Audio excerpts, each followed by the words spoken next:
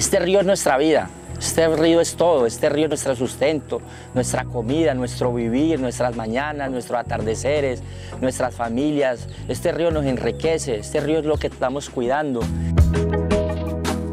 Mi nombre es Luis Eduardo Godoy, soy pescador de origen que me enseñaron mis padres. Toda la vida he vivido acá en el municipio. Esto fue de herencia de mis padres. Mis padres son pescadores. Una historia muy bonita porque ellos no son de acá, ellos llegaron, ellos son bayunos, vinieron detrás de, de una subienda y esa herencia nos la transmitieron a nosotros. El pescado para nosotros es, es, nuestra economía, es nuestro fuerte, es lo que nosotros mostramos, nuestro turismo, nuestra identidad, nuestra cultura. Y hemos dado nuestro lugar, hemos puesto nuestro puñito de arena para que este municipio siga creciendo.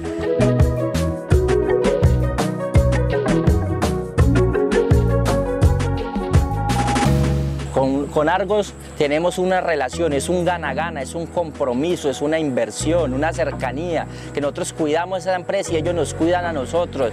Desde sus ganancias invierten en nuestras regiones, con los pisos, con las fachadas, con las calles, transforman nuestro espacio, transforman nuestro entorno y nosotros de igual manera nos sentimos identificados y la queremos tan nuestra que nosotros la cuidamos. Argos para nosotros es la familia de Puerto Nar, es la familia de la pesca, es nuestra mamá grande que nosotros la queremos tanto.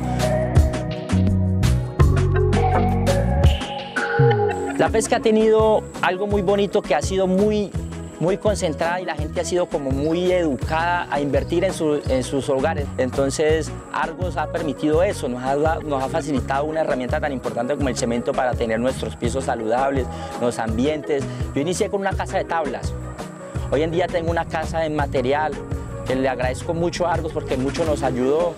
Le agradezco mucho a, los a los mecanismos que ella, haya, ella hace para llegar a la comunidad, porque solamente no llega por medio de la Junta, siempre llega por medio del municipio, por el Estado, siempre busca estrategia y mecanismo para acercarse a la comunidad. Eso es una empresa muy bonita que tenemos nosotros en esta región.